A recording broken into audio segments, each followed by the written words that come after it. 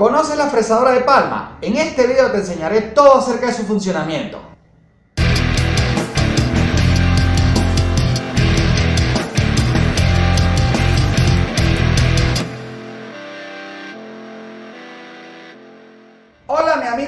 Carpintería, estás nuevamente en tu canal favorito de YouTube, Carpintería Creativa Moderna por Domingo Freire. Y acuérdate que ya llegamos a los 100k, por lo que somos muchísimos los adictos a la carpintería. Y hoy te traigo un video muy interesante para todos los que quieren aprender sobre este tema de la carpintería y bricolaje.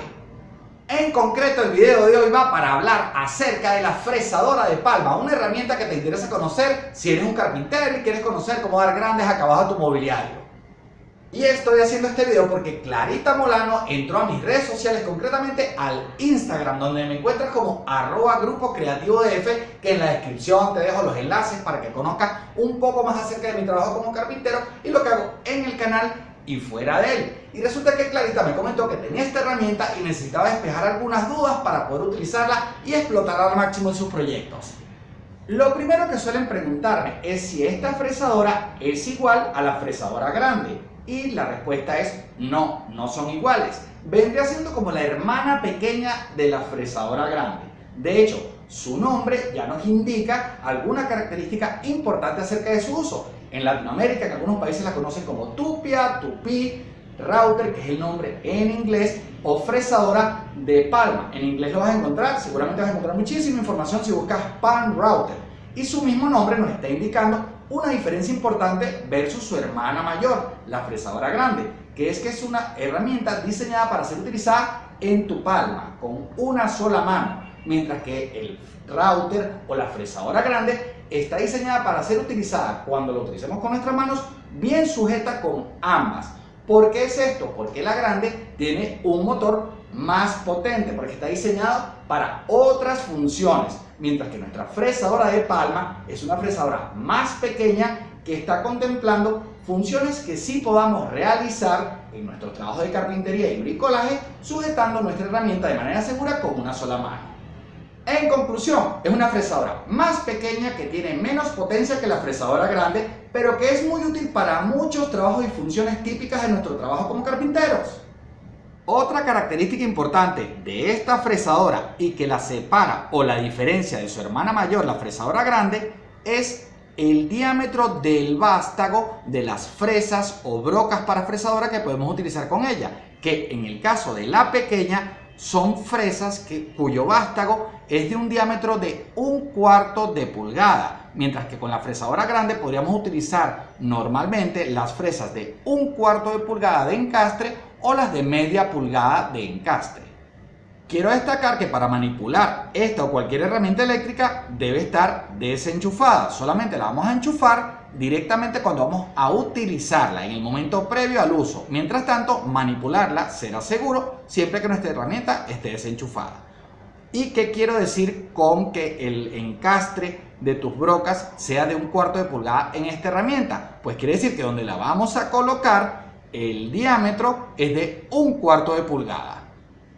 Este router de palma lo habrás visto en varios de mis tutoriales de carpintería y en líneas generales las características de todas estas fresadoras son similares. Por eso nos sirve perfecto como ejemplo tengas cual tengas tú en tu casa o en tu taller. De todas maneras, en la descripción te voy a dejar en mis herramientas favoritas un enlace directo para que puedas ver los routers de Palma que yo te recomiendo, que son de buenas marcas y que estoy seguro te van a ayudar a tus trabajos.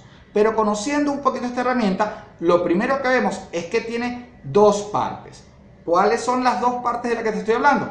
El motor, que es la parte que tiene la máquina que le da potencia a nuestra fresadora, y su base, que en este caso es una base que girando por acá es una base fija que nos permite que el ataque de nuestra fresadora sea totalmente perpendicular en 90 grados con la pieza que vayamos a fresar. Al aflojar por acá podemos sacar la base y verla en detalle. Vemos que esta tiene algún detallito aquí anatómico para que estemos un poquito más cómodos, pero en líneas generales todas son iguales. Unas tienen un tornillo que te va a permitir aflojarla, otras tienen un dispositivo un poquito más automático y por acá tenemos una pieza que nos va a permitir ajustar algo que te voy a mostrar en un ratico. Pero por lo pronto lo que tenemos que saber es que el poder moverla nos va a permitir ajustar diferentes alturas del motor con respecto a la pieza que estemos fresando. Y por acá, si vemos el motor, veremos que esta tiene una velocidad fija. Hay unas que tienen varias velocidades, del 1 al 6 normalmente, que vas a poder cambiar, pero esta tiene una velocidad fija que podemos simplemente encender por acá nuestra máquina o apagarla cuando ya no la estemos utilizando. Aquí tenemos esta reglita que te permite, si quieres subir o bajar milimétricamente tu base, tener una guía si quieres subirla un milimétrico más o dos o si quieres bajarla de una manera un poquito más controlada. Y aquí tenemos la parte donde va colocada nuestra broca, que básicamente si la sacamos por acá es una tuerquita que enrosca en otra pieza que tiene un contenedor que es como una copita que puedes ver por acá que al ingresar nuestra broca esta pieza va a abrazar y va a permitir que se apriete la broca y quede firmemente sujeta ¿Cómo colocamos la broca de esta fresadora? Pues muy facilito, aunque ya te hice algunos videos donde, donde te lo explico. Lo más importante que tienes que saber es que tú vas a ingresar tu broca hasta el fondo. Bajamos aquí un poquitico más si hace falta. La ingresamos hasta el fondo y vas a separarla unos 5 milímetros de lo que es la base o la rosquita en sí. Y ahí vas a apretar con tus llaves, en este caso, porque hay otros dispositivos que tienen un apriete más automático. Una vez que colocamos esta llave, vamos a apretar con la ayuda de la otra. Principio podemos girar con la mano hasta que quedemos firmes y luego con la otra llave apretamos para que quede firme nuestra broca en la fresadora. Aquí puedes ver mejor los 5 milímetros aproximados de los que te hablo, que tiene que haber de distancia entre el cuerpo de la fresa y donde se aprieta finalmente. ¿Por qué esta pequeña distancia? Pues para evitar que esté demasiado pegada y no tenga un pequeño margen de vibración nuestra broca y que pueda partirse, aunque eso es casi imposible, pero nos aseguramos mucho mejor si dejamos esta distancia prudencial.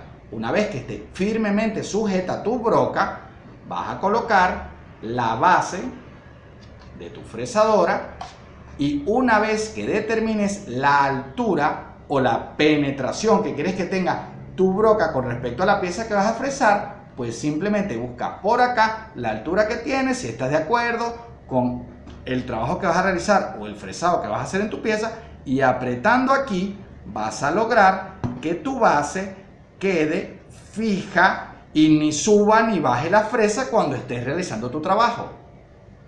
La altura, ¿cómo la vamos a establecer correctamente? Nuestra altura de fresado, pues facilito. Aquí tienes de ejemplo un MDF de 18 milímetros de espesor o de grosor. ¿Y qué haríamos para saber hasta dónde entra nuestra broca? Pues colocaríamos la broca de esta manera, apoyando firmemente la base de nuestro router y así vemos cuánto es el ataque o el corte que haría nuestra broca. Una vez que estemos conformes con la altura de la broca con respecto a nuestra pieza a fresar, apretaríamos acá para inmovilizar y poder realizar el fresado correctamente. Con esta fresadora podrás utilizar básicamente dos tipos de brocas. Yo voy a utilizar este set básico de brocas que a mí me ha salido muy bueno y por cierto te voy a dejar la descripción en este video para que puedas adquirirlas directamente en Amazon y me van a servir para mostrarte algunos tipos de brocas que son muy útiles en nuestro trabajo del día a día en la carpintería. Y básicamente las brocas para router se dividen en dos tipos. Las primeras son como las que puedes ver aquí abajo, que tienen un rodamiento o rolinera, como la conocen también en mi país, y el rodamiento limita el cuánto podemos entrar con la superficie cortante de nuestra fresa. Algunas brocas tienen el rodamiento en vez de aquí al final, debajo de la parte cortante de tu broca, pero en líneas generales, el rodamiento cumple esa función, limitar el ataque de tu broca, mientras que hay otras fresas como esta que ves por acá que no tienen rodamiento y que de alguna manera, como te voy a enseñar en unos minutos, tenemos que limitar cuál es su ataque en la pieza que estamos fresando.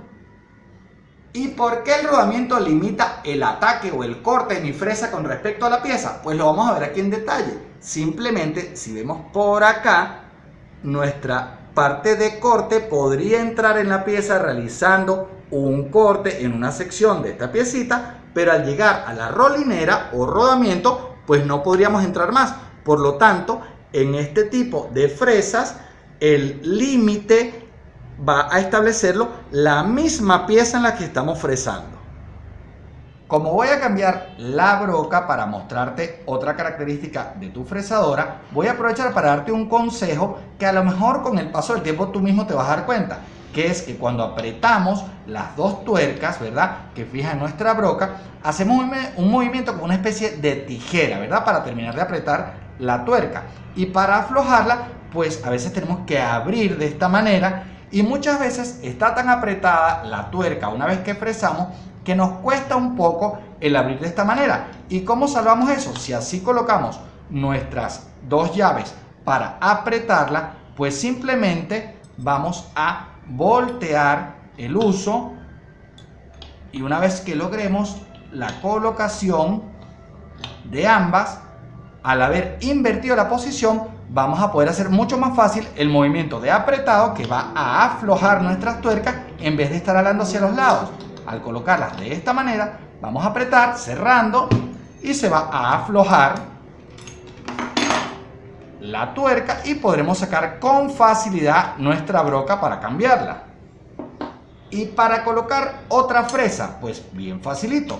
La hundimos hasta el fondo, la sacamos los 5 milímetros aproximadamente y colocamos las llaves la llave de atrás primero, apretamos un poquito con la mano hasta que ya no podamos más con nuestra mano y colocamos la llave de tal manera que haciendo el movimiento cerrando podamos apretar la fresa que estamos colocando ahora, que como puedes ver es una fresa sin rodamiento, sin rolinera.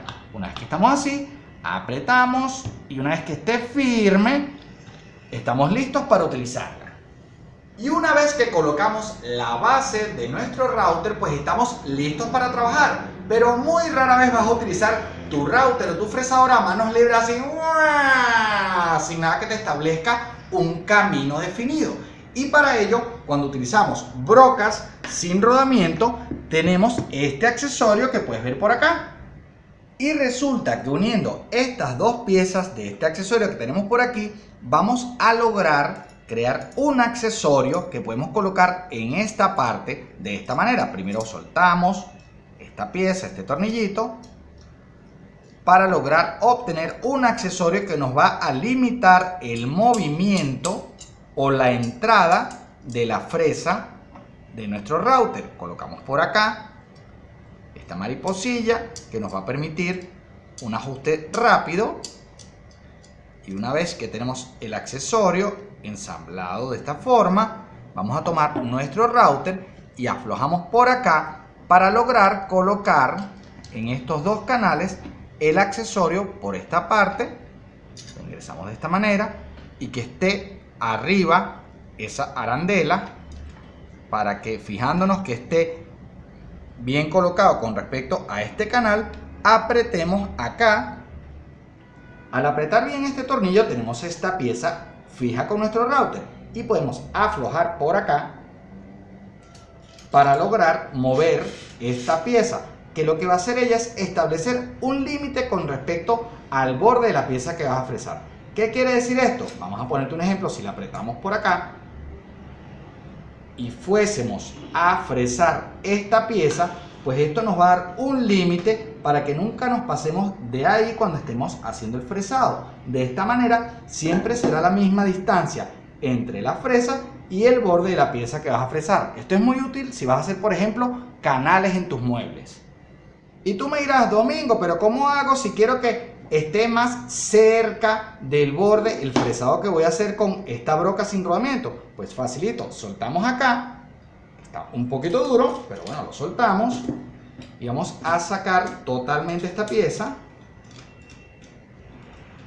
que vas a ver que tiene dos perforaciones tiene una perforación que es la que estamos utilizando aquí y otra aquí atrás.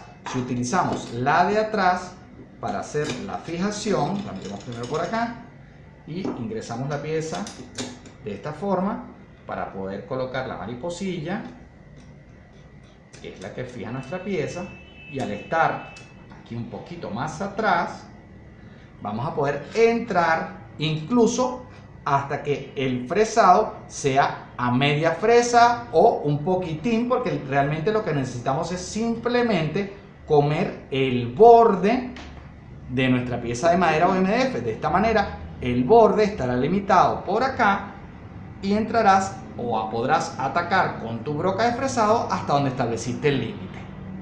Un ejemplo bien claro de esto es que esta broca es bastante gruesa y podríamos hacer un fresado o comer nuestra pieza no hasta la mitad, sino un poquitín más, ¿verdad?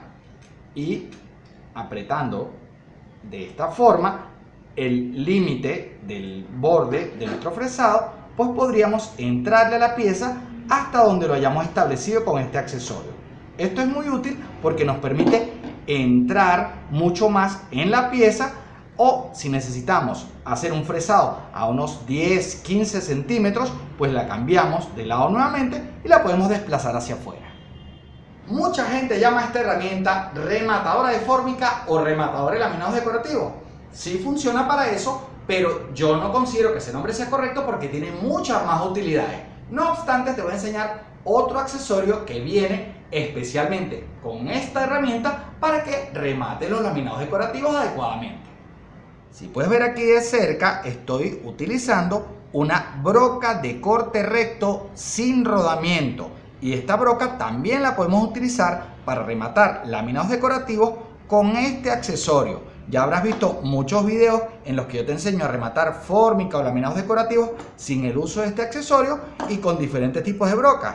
Pero quiero que veas cómo funciona este accesorio y es muy fácil. Simplemente lo vamos a colocar acá como el anterior corremos la, arandelita para que insertemos el accesorio en los canales para que quede totalmente perpendicular.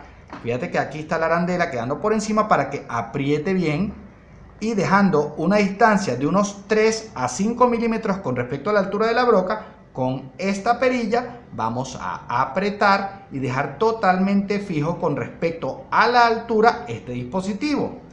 Luego tenemos por aquí dos ajustes más que hacer.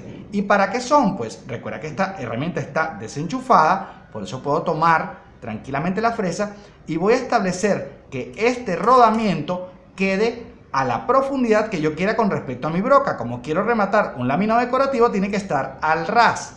Y para ello aflojaría aquí, este que ves acá, lo aflojamos y eso va a permitir que al nosotros mover este, esta pieza se meta más hacia nuestra broca o se separe de ella. Una vez que girando acá logramos que el ras del rodamiento esté al ras con respecto al corte de la fresa, apretamos acá y queda fija en esta posición la fresadora con el dispositivo que va a limitar la entrada para que puedas rematar cualquier pieza que de esta manera tu fresa no va a entrar más de donde está el rodamiento. Por lo tanto, el rodamiento va a ser la limitante para que tu fresado sea al ras de tu laminado decorativo con respecto a la pieza. Una vez que hayas hecho el ajuste de la profundidad del ataque de tu broca y la altura a la que vas a entrar en la pieza, pues vas a poder desplazar de esta manera tu fresadora y la rolinera va a limitar el movimiento para que haga solo el corte en el laminado decorativo. Otra duda muy frecuente es hacia dónde tengo que mover mi router cuando esté fresando. Y ya me habrás escuchado decir a mí y a otras personas que te hayan hablado sobre esta fresadora o la fresadora grande, es que el movimiento correcto supuestamente debe ser de izquierda a derecha. Y lo mejor es que aprendamos el por qué sucede esto, a razonarlo para que siempre podamos hacerlo, porque muchas veces vamos a ver que se está moviendo de derecha a izquierda al revés de lo que nos han dicho. ¿Y por qué se da este movimiento? Porque si nosotros vemos nuestra fresadora o nuestro router desde arriba, como si estuviéramos fresando, que lo verías así, tienes que entender cómo estaría girando la fresa. La fresa estaría girando, si la ves desde allá, en favor de la dirección de las aguas del reloj. Quiere decir, de esta manera. Por lo tanto, nosotros tenemos que buscar que el giro de la fresa en su ataque coma la pieza que estamos fresando o pasando por nuestro router o rematando en el caso de que sea un laminado decorativo. Sabiendo cómo gira la fresa, es muy fácil saber cómo nos moveremos con respecto a la pieza que vamos a fresar. Si lo vemos de esta manera, la fresa giraría de esta forma. Por lo tanto, si vamos a pasar el router por este lado, nos moveríamos de aquí hacia allá, porque estaríamos atacando de esta manera este lado. Mientras que si fuéramos a comer esta parte de nuestra pieza, nos moveríamos desde este lado hacia acá para que en el giro atacáramos correctamente este lado de nuestra pieza. Si quieres ser un miembro activo de este canal, puedes convertirte en un verdadero adicto a la carpintería de dos maneras. La primera te la voy a dejar en la descripción, es entrando a patreon.com slash domingo freire y vas a ver varios niveles de membresía en los que tienes diversos beneficios y desde un dólar puedes ayudarme a hacer más y mejores videos para todos los que nos gusta aprender aquí carpintería totalmente gratis en YouTube. Pero como acabamos de llegar a los 100.000 suscriptores, decidí activar la opción de miembros directamente en el canal. Igualmente en la descripción te voy a dejar el enlace directo, pero con simplemente entrar en mi canal en youtube.com slash domingo freire, puedes entrar a la sección de miembros y ver todos los beneficios que te ofrezco para que seas un verdadero adicto a la carpintería. Entonces, mi amigo adicto a la carpintería, espero que este video te haya sido muy útil para que aprendas a utilizar a fondo esta herramienta, tu fresadora de palma. Así que dale un me gusta de una vez a este video y déjame tu comentario para saber ¿Qué te pareció interesante? Si conoces algún uso adicional para esta herramienta que yo no mencioné por aquí, para de repente yo mencionarlo en un próximo video. Y a ti, Clarita Molano, te doy muchísimas gracias por esta sugerencia porque sé que a muchos como tú que están empezando y a otros que ya conocen un poquito más, les va a ser bien útil conocer las diversas características y todos los usos que le podemos dar a la fresadora de palma. Así que por favor, ayúdame compartiendo este video en tus redes sociales y si no lo has hecho ya, suscríbete al canal. Yo por aquí te voy a dejar un par de sugerencias para que veas más videos interesantes de carpintería y bricolaje y nos vemos en un próximo video.